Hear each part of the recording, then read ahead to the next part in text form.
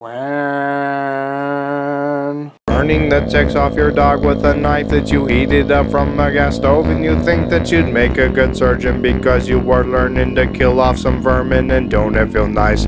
Porcupines are fun to play with.